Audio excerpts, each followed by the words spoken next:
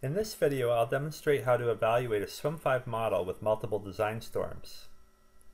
PCSWMM has some unique scenario management tools that make this process a snap. In this example, we have a base model which will run with a typical set of different return period design storms. Let's use the Scenario Manager to create our design storm scenarios based on the current model. We have already created a design storm library that contains the various storm volumes in the desired distribution. For information on creating a design storm library, please view the video on that subject. Once we select the source of our design storms, you will see a list of the scenarios that will be created. In each, a time series and rain gauge object will be created, the subcatchments linked to the rain gauge object, and the simulation period updated to match the date of the design storm with the options you see here. For maximum efficiency, you can choose to create and run the scenarios all at once.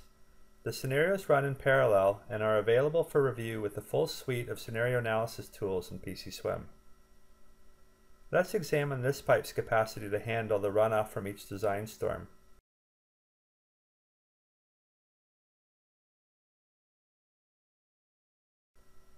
Currently, the pipe can only fully convey the two-year return period design storm. Let's increase the pipe diameter to allow the drainage system to handle the 10-year event as well. Since the scenarios differ only in the input time series, we can replace them at will. Notice the list now indicates existing scenarios will be overwritten.